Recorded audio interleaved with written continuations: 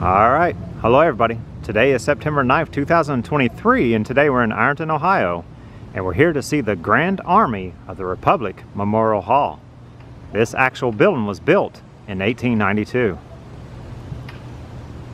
All right, I am Michael and this is Jenny, so come along and let's learn a little bit about the Memorial Hall. All right, this is the Grand Army of the Republic Memorial Hall, built in 1892 and it is a historic building located at 401 Railroad Street in Ironton, Ohio.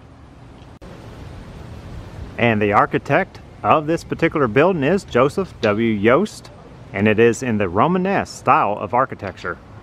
It was built to serve as a Grand Army of the Republic Memorial and the meeting hall of Dick Lambert, post number 165.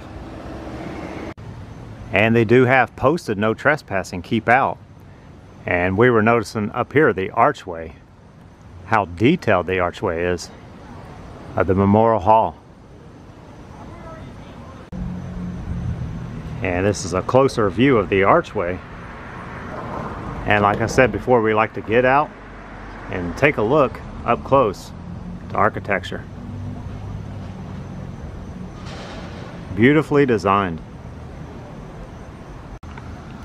And this gives you an idea where the window was. They have it boarded up right now. This is the side view and the tower of the actual hall.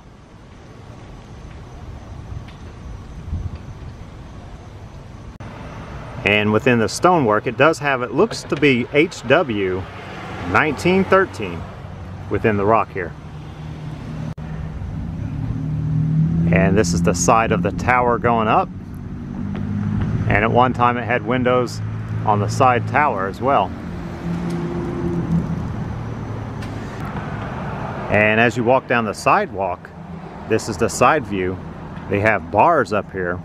And this particular hall did serve as American Legion to post number 59 as well as the Ironton City Hall at one time.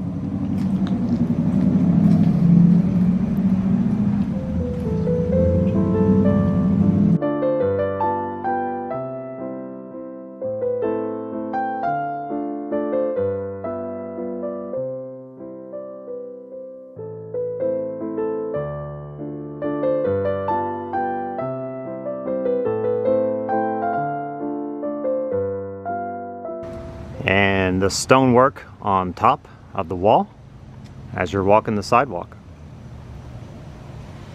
And the building actually goes way up and that is the tower and that direction is the front of the hall.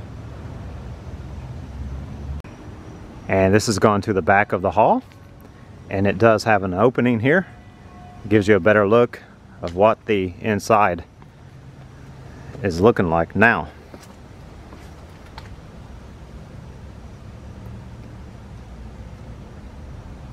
And I'm going to assume that was an inner wall at one time where the window is. Straight ahead.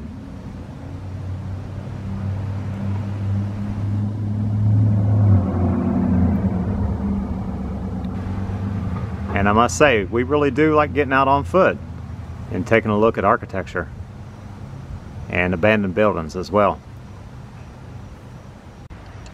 And this looks to be where perhaps they would deliver some items or something. I'm not really sure on that, but definitely be enough to get a car down in there or backed up to a certain extent.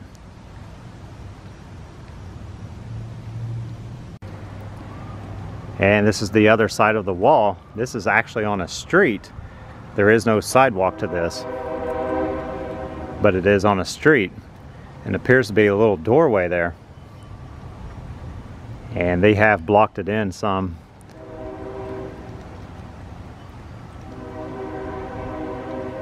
And this is another view of inside.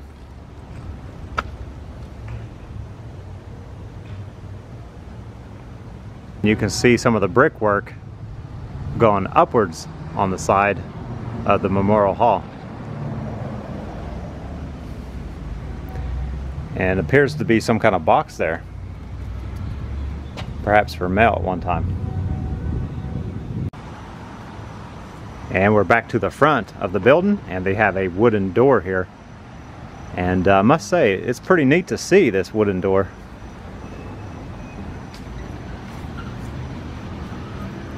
And another window is boarded up as well. And there is a narrow window all the way up to the top. May be difficult to see. And then another little window right below it.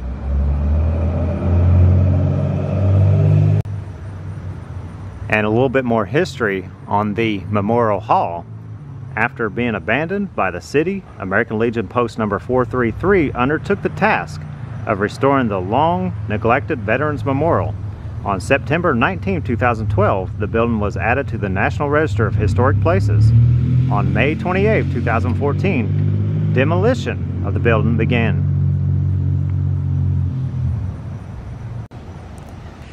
And directly below the window, they do have an engraving, and it is a bird perched upon the American flag. And I am sure at one time this building was magnificent when it was all together and everybody was coming in and out, even by the little design of the arch over the window.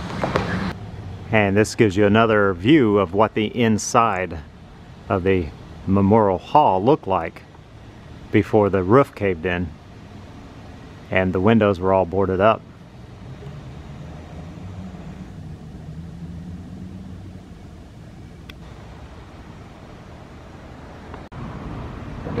And this gives you an interior view of the brickwork right in that direction. And right up here is a steel beam. And Jenny, you said what?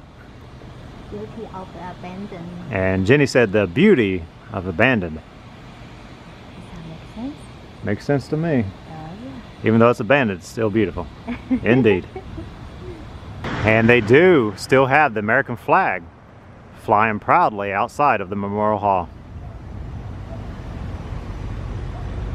And on the sidewalk here, going up to the Memorial Hall, we have a little TJ Mulligan contractor, Ironton, Ohio. One of those little details you do not see within your own car until you get out on foot. And this is the overview of the Memorial Hall.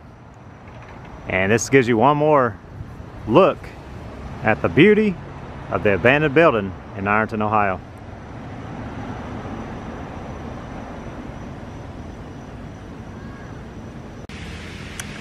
All right, I am Michael and this is Jenny. We're Michael and Jenny on YouTube. We like to come to Ironton because it's rich in history and also the architecture and we like to get out and walk around. So if you don't mind, please subscribe, leave comments, ring the bell, whatever you like to do there. And most of all, thank you so much for watching. Thank you for watching. All right, bye-bye. Bye.